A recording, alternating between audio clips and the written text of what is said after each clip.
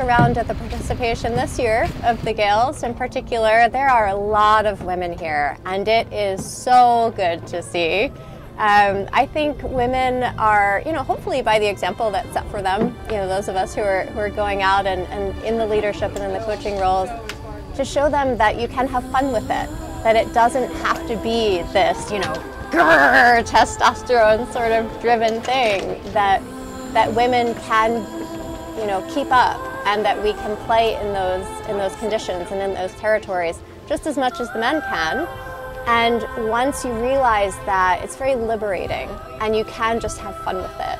So I think we're seeing that sort of percolate down a bit, which is really nice. All right, we're ready. I think we're ready. Good morning, everybody. Good morning. Good morning. All right. So this is the 14th year of the Autumn Gales.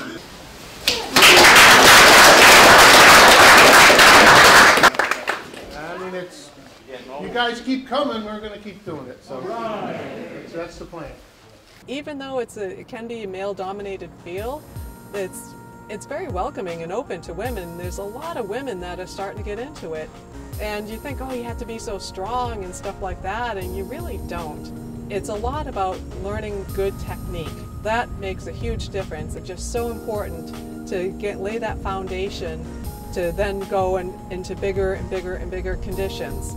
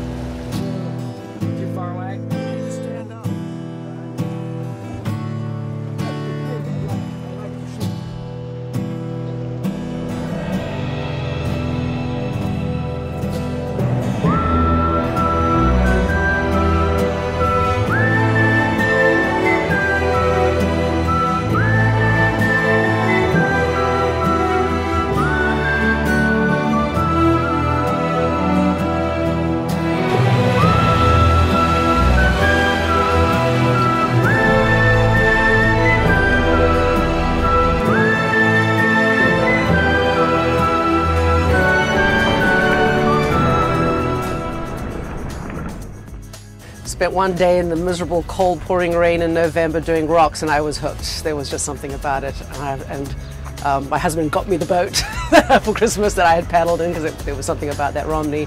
Uh, and then it took off from there. Just uh, came down to Stonington to paddle and take classes, met some people in, in the area uh, where I live who do this kind of kayaking. Um, and I just became an addict. And now I just, I just love it.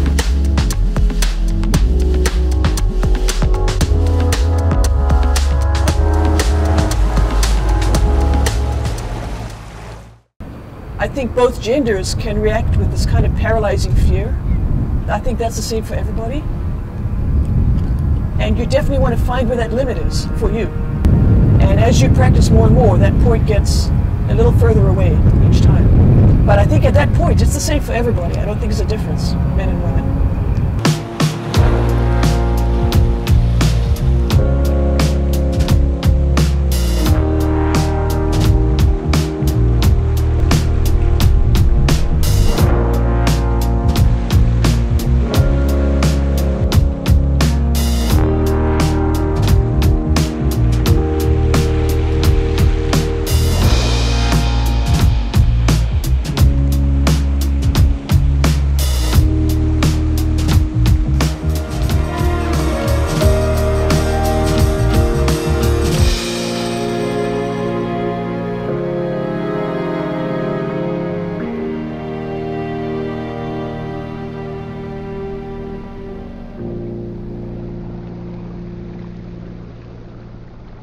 Um, and a lot of people, you do, you do see it. They kind of give you the up and down.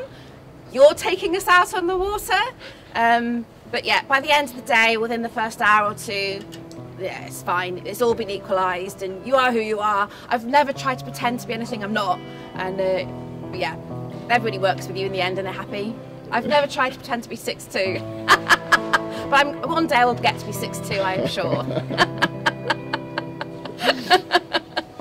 I'm not going to apologise for being female. I'm not going to apologise for being small. I am what I am, but I haven't yet met. I haven't met any resentment or any anything that would make me feel negative or inferior as to who I am or what I am. Never.